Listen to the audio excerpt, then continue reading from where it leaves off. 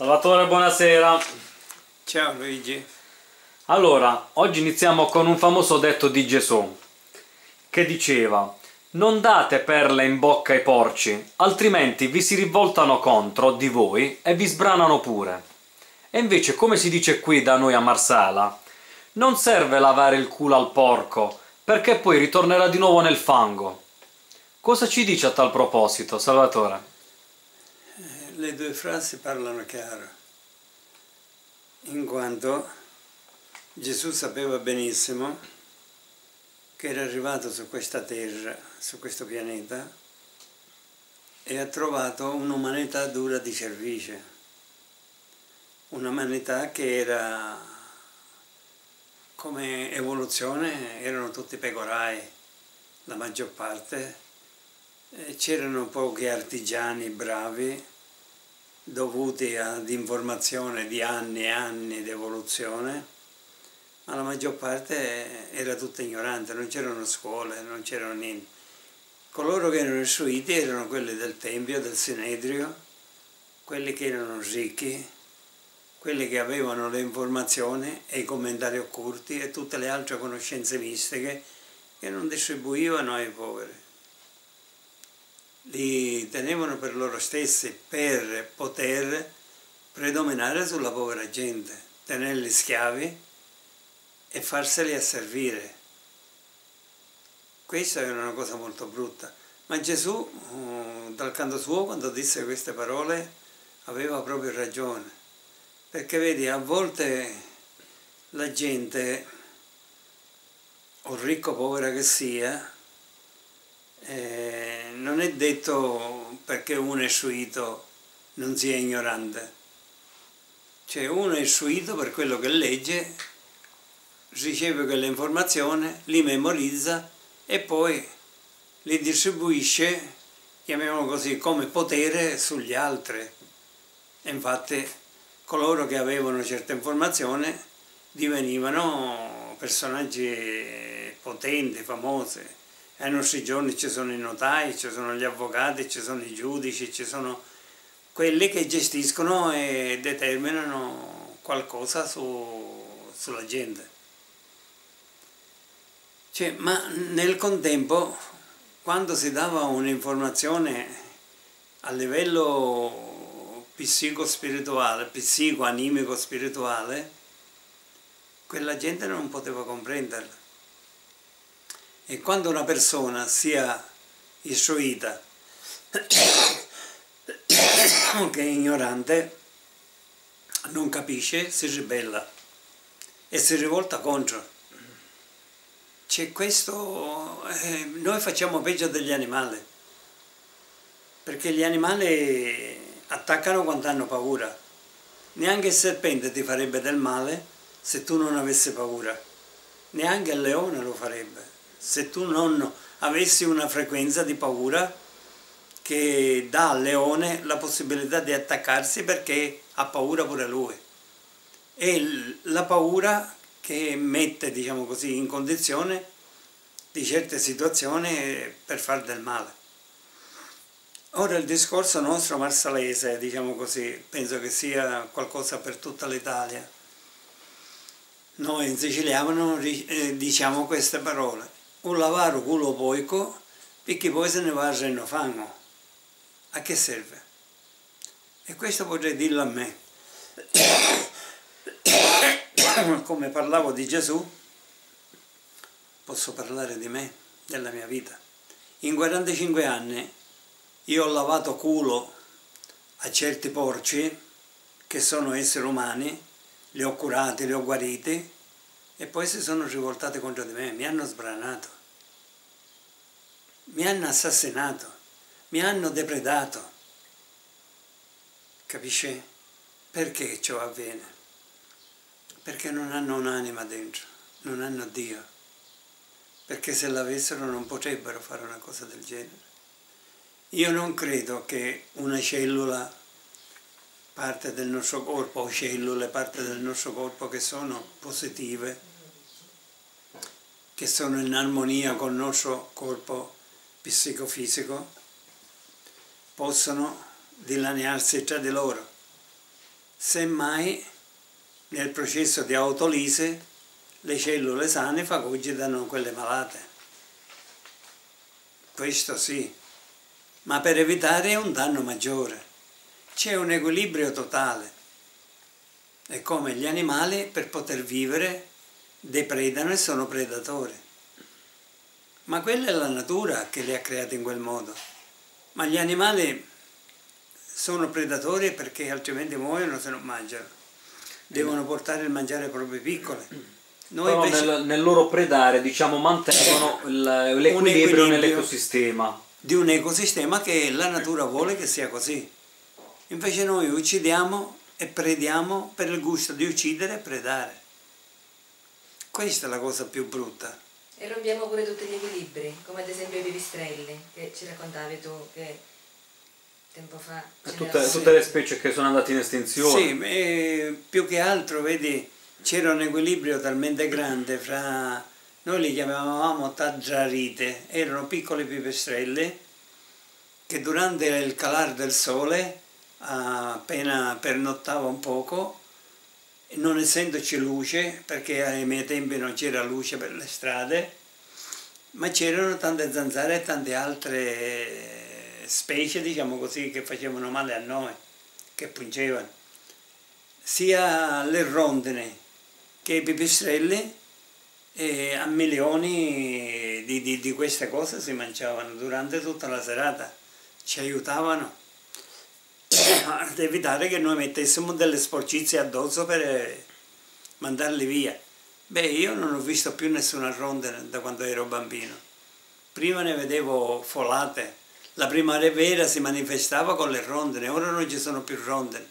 L'uomo assassino e predatore ha distrutto pure eh, un ciclo biologico, un ritmo di un, chiamiamo così, Ecosistema? Di un sistema particolare di cui siamo coinvolti pure noi. Un equilibrio che, che sì, c'era esattamente. creato naturalmente. E questo è un male. Perché i pipistrelli per esempio non, non ci sono più qua in mezzo a noi? Perché ci sono tante luci. Loro non vedono con la luce. Capisci? Neanche con il sonar. E non, non riescono più, impazziscono e quindi vanno via e a poco a poco si estinguono. Si estingueranno tutte. Io non so che fine hanno fatto le rondine. Io non vedo più rondine qua. Eppure io abito in campagna. Prima li vedevo da bambino. Anche in città. Dove c'erano alberi venivano ronde, rondini e facevano i nidi sopra uh, le, le, i nostri tetti, diciamo così, le penselline nostre. Ora non c'è più niente. Abbiamo depredato la natura. Ecco perché diceva Gesù, non date pelle in bocca ai porci e non, non lavate il culo ai porci. Quindi riguardo me posso dire che in 45 anni, lo ripeto, di queste cose ci sono state. Loro venivano, io li aiutavo, non mi prendevo una lira da loro e poi ritornavano peggio di prima a mangiare cose. Quindi era come se io non avessi fatto niente, come se io avessi lavato il culo a porco.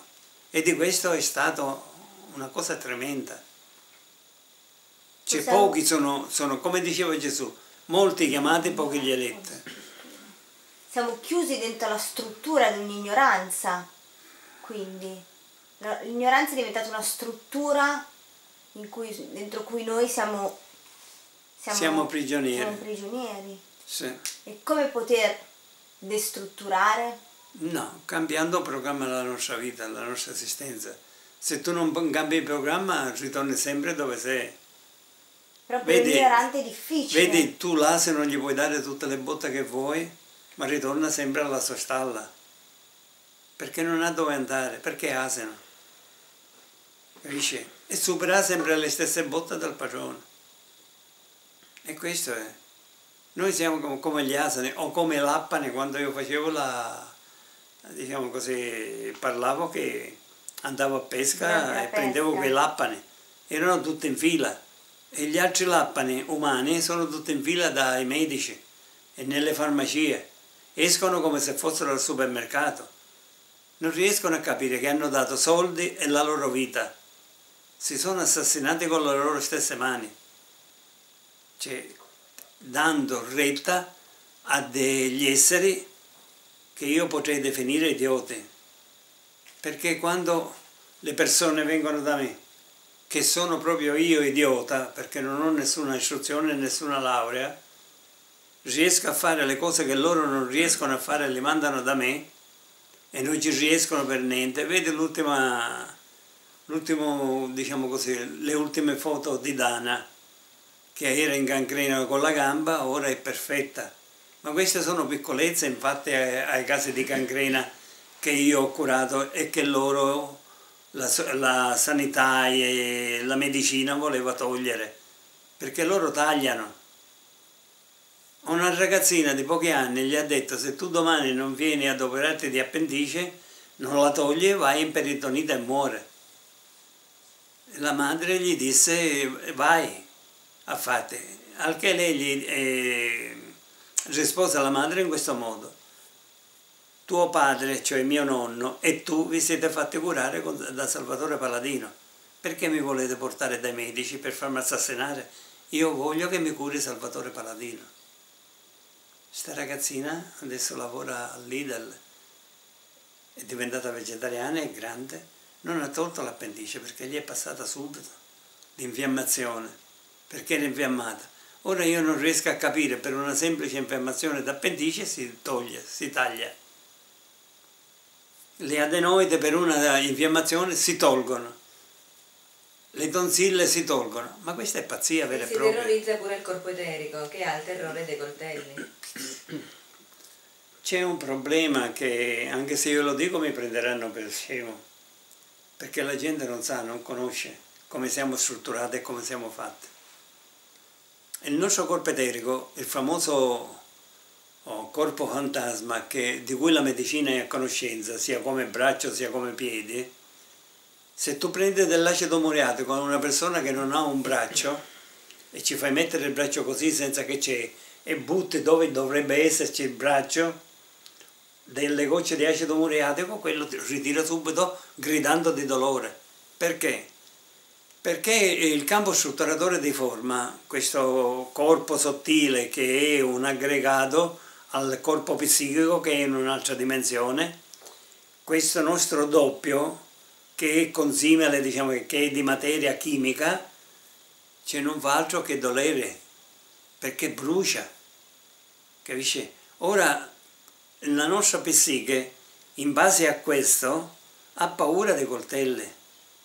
Quando uh, le persone vengono operate, creano dei danni alla struttura psichica, alla struttura, al campo strutturatore di forma, anche se in quella dimensione c'è una ricicalizzazione più veloce, ma molto più veloce, del corpo fisico.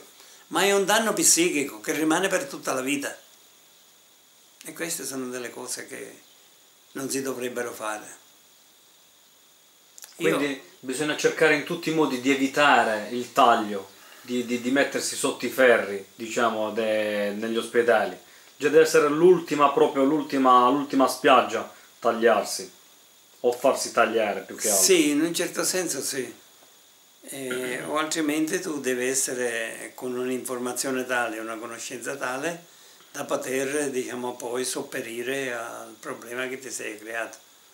Ma io vorrei dire una cosa, è un dolore nel cuore che io ho. Io da ragazzino non conoscevo ancora il processo di naturopatia o di medicina spirituale, ma la mia anima era propensa ad aiutare i miei simili, specialmente bambini, di cui Gesù diceva lasciate che i piccoli vengano a me. Essendo nel seno io come Gesù, quel dolore, quella tristezza nei bambini che stavano male. E allora quando qualcuno veniva da me per dirmi guarda mia figlia è cieca, o mio figlio ha un tumore ai polmoni, deve andare a Houston nel Texas, o la bambina deve andare a Berna, io andavo dal commissario di pubblica sicurezza e gli dicevo che mi doveva dare l'autorizzazione per andare a chiedere l'elemosina per queste persone. E lui me l'accettava perché mi conosceva e aveva messo degli agenti dentro il centro studi Fratellanza Cosmica credendo che io non le conoscessi. Eh, io facendo il portalettere conoscevo tutte. Al di là di questo, eh, raccoglievamo delle grosse somme perché io allora prendevo 72.000 lire al mese, noi raccoglievamo o 500.000 lire o un milione o 250, dipende da quello che le persone davano e noi attraverso diciamo così, canali li davamo alle famiglie che poi andavano a Houston, andavano eh, in Svizzera e in altri posti per curare i loro congiunte.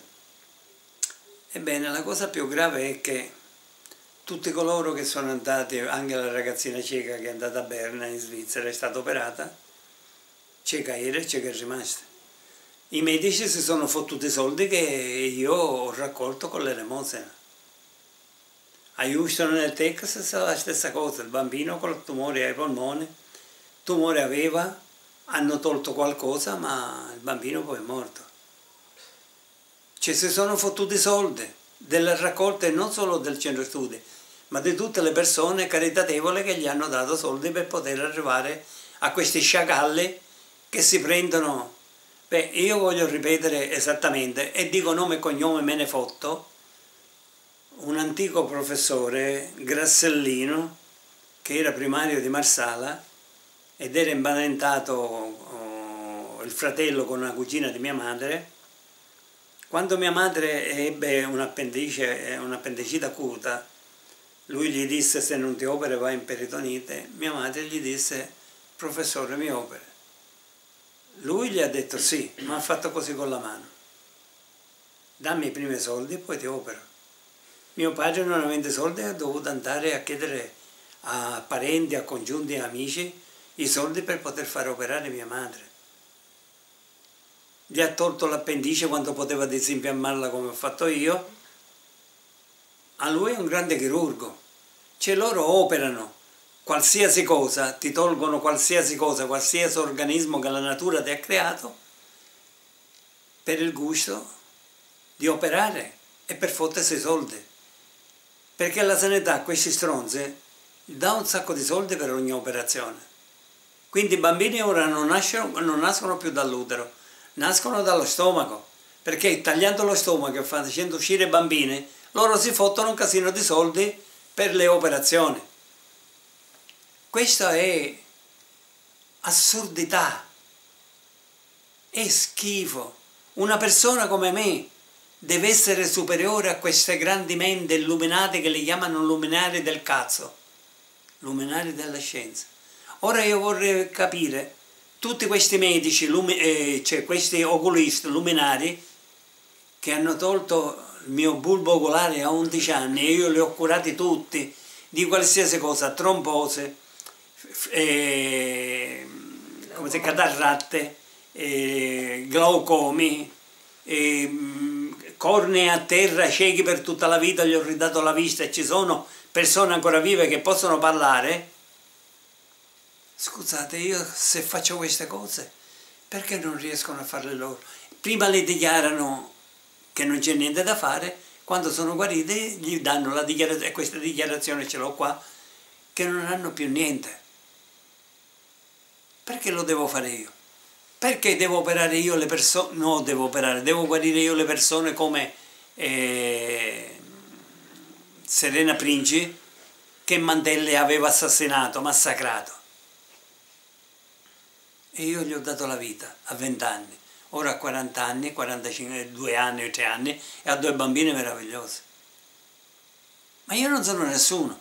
Perché alla famiglia di Scordia, di Lucia e di suo marito, dopo che le hanno depredate di tutti i soldi, per sei anni, gli hanno detto che non potevano avere bambine.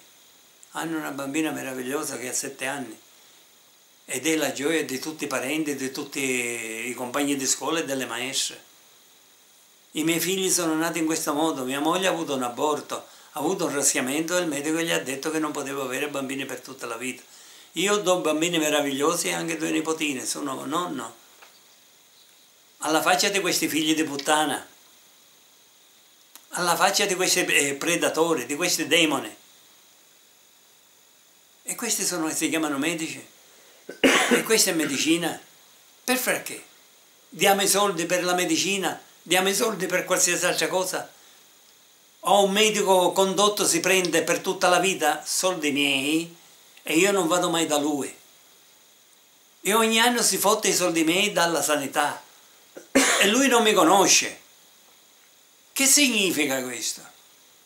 Che significato ha? Che ci hanno messo le catene, che ci hanno messo il cappio a collo, che ci hanno reso impotenti e noi ce lo, gliel'abbiamo permesso e nessuno si ribella, me si ribello io, dico la verità per come mi massacrano. I signori medici, una bambina di 11 anni, una certa Valentina di San Leone, per tre anni l'hanno seviziata per una fistola anale che gli eh, curavano e diciamo così eh, gli disinfettavano con l'anestesia totale.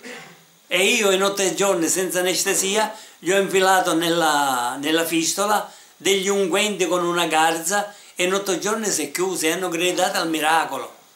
Di queste cose ne potrei parlare. Dottoresse che sono venute da Palermo con l'uveite agli occhi se ne sono andate guarite e sono dottore. Dottore che mi mandano la moglie per la leucemia, sono guarite, ma loro danno chemio ai loro pazienti. Ma c'è pure gente che preferisce questo piuttosto che radersi i capelli e mettere l'argilla in testa. Come si spiega? Perché sono stupide, sono ignoranti. Ma nessuno può costringerle. Ognuno è libero di farsi c'è, c'è, un detto marsalese che dice ognuno è libero di seppellire il suo padre con tutte le scarpe. Nessuno gli, gli vieta di, di toglierle. Le vuoi mettere con le scarpe? Mettere con le scarpe. Stronzo. C'è, siamo ai livelli di un'esasperazione e di un'assurdità tale che arrivando a un certo punto io non riesco più a capacitarmene. Quindi la cosa importante sarebbe eh, risvegliarsi. Sì. Iniziare a pensare con la propria testa, non più come fanno gli altri lappoli. Come si chiama quel pesce che dice sempre Lappani. Lappani. Non seguire sempre gli altri senza neanche sapere dove si sta andando, ma provare ad avere una propria coscienza. Ma io su quarta dimensione, su... Pensare con la propria testa, come dicevi. Usare sì. la propria testa. Sì, molte volte ho scritto svegliati dormiente, svegliati. Cioè noi ci dobbiamo svegliare come dormiente, altrimenti per noi è finita. Questo non lo facciamo, non lo vogliamo fare ed è un problema nostro. Io posso dare informazioni, non posso costringere le persone a fare quello che dico io, ma io vi posso dire, e se qualcuno vuole mettermi alla prova, io sono disposto, che in pochi mesi io vi svuoterei gli ospedali perché tutte le persone come Dana, che si è curata dalla gangrena da sola a casa sua, come Demetrio, come Marino Pianobarre, come Claudio Sala, tanti altri che si sono curati e hanno raggiunto livelli grandissimi di grandi malattie, si sono curate da sole a casa senza spendere una lira e neanche pagando me. Vedi, negli ospedali ci sono persone che non dovrebbero stare lì, che a casa loro, da loro stesse, senza il mio intervento, con le mie informazioni si potrebbero curare. Non lo fanno. Perché non lo fanno? Per il semplice motivo che in realtà ah, non lo so, sono ignoranti o io potrei svuotare gli ospedali. Mi dovrebbero dare soltanto la possibilità di poterlo fare io non ho niente, non ho soldi, non ho nessuna